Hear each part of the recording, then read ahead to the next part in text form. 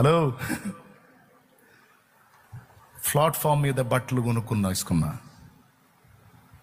సేవలోకి వచ్చినప్పుడు ఏమనుకున్నాను తెలుసా?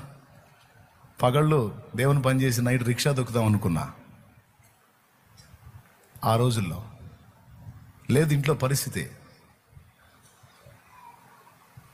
నేను కుప్పల మీద రాలా. పడాల్సిన బాధలన్నీ పడే వచ్చా. కానీ ఈనాడు మాట్లాడి ఈనాడు భరోసాల గురించి చెప్పడం కాదు. ఆనాడే నేను భరోసా ఉంచాను ఆ దేవుని మీద.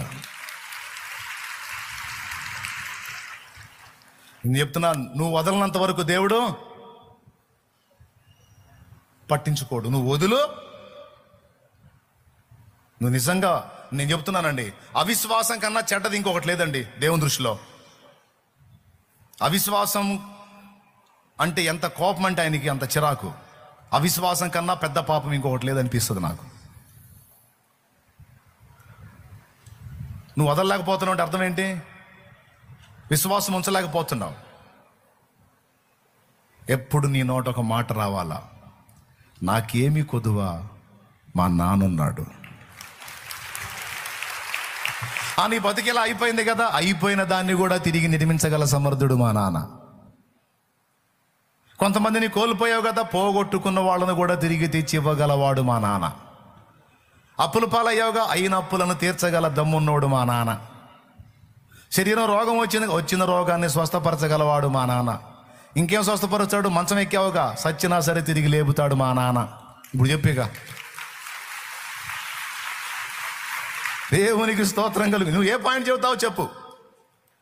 నీ శత్రువులు నిన్ను తరమ చూస్తున్నారు కదా శత్రువులు మొత్తాన్ని నాలుగు దారిలో పరిగెత్తేటట్టు తరమగలడు మా నాన్న.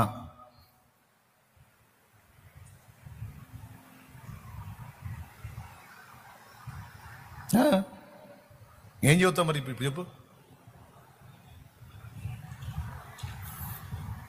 కొంతమంది నీకు ఏదో కీడు తలపెట్టాలనుకుంటున్నారు కదా వాళ్ళే కీడులో పడేటట్టు చేయగలడు మా నాన్న. అవసరమైతే వాళ్ళే నాకు సహకారులుగా మారేటట్టు చేయగలడు మా నాన్న. ఒరే నువ్వు చచ్చిపోతావరా చచ్చినా తిరిగి లేపగలడు మా నాన్న. ఎందుకంటే ఆయన లేచాడు. నువ్వు ఇరుక్కుంటావు నీకు తెలియదు ఇరుక్కున్నా నన్ను అందులోంచి బయటికి తీసుకొని రాగలడు మా నాన్న. ఇరుకులో ఉన్నావు ఇరుకులోనే నాకు విశాలత కలుగజేయవాడు మా నాన్న. ఓరి మీ నాన్న సల్లంగుండా.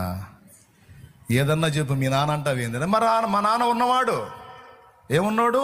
ఎల్లప్పుడూ ఉన్నాడు నిన్న ఉన్నాడు నేడున్నాడు రేపు ఉన్నాడు సౌండ్ ఉన్నాడు జ్ఞానం ఉన్నాడు బలం ఉన్నాడు ధనం ఉన్నాడు. నాకు కావాల్సిన ఐడియాలజీ ఇవ్వగలిగినోడు. ఇప్పుడు చెప్పండి. నేను చెప్పినప్పుడేం కరెక్టే నాన్నయ్య? నిజమే కదా ఇవన్నీ మరి ఎందుకు నేను ఇట్టా ఇబ్బంది పడుతున్నాను? సైతాను కానీ నిన్ను మోసం చేస్తున్నాడు. మరి నేనేం చేయమంట? వాడు మోసం చేస్తున్నాడు నిన్ను. అందుకే చూ నాలుగు విషయాలు గుర్తుపెట్టుకు. నంబర్ వన్ మీ నాన్న ఉన్నవాడు. ఆయన లేనివాడు కాదు ఆయన ఉన్నవాడు ఆయన సజీవుడు. నంబర్ వన్ రాసుకో. నా తండ్రి లేనివాడు కాదు నా తండ్రి ఉన్నవాడు సజీవుడు అని రాయ్. రాయ్ పెన్ ఉంటే రాయ్. పెద్ద పెద్ద లెటర్స్తో రాయ్ అక్షరాలతో రాయ్.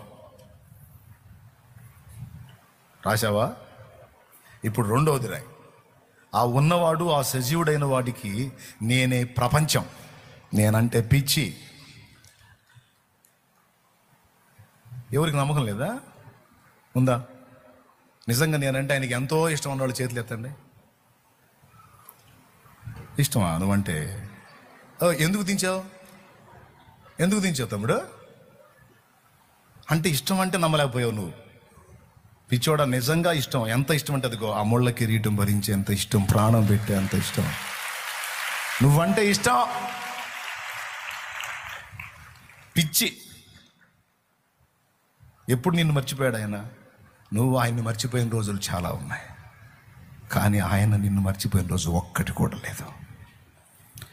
తల్లి గర్భంలో నువ్వు పడింది మొదలుకొని అసలు నిన్ను రూపించింది మొదలుకొని ఈ రోజు వరకు ఆయన నిన్ను మర్చిపోయిన రోజు కానీ గడియ కానీ గంట కానీ నిమిషం కానీ సెకండ్ కానీ ఒక్కటి కూడా లేదు. ఇది వాస్తవం. నువ్వు పట్టు వదిలావు కానీ నిన్ను పట్టుకున్న పట్టు ఇంకా వదల్లా ఆయన నిన్ను? నిన్ను వదల్లా? ఆయన పట్టుకునే ఉన్నాడు నిన్ను? నిజం ఇది. ఏదో ఓదార్పు కోసం ఆదరణ కోసం చెప్పట్లా వాస్తవం చెప్తున్నాను నేను.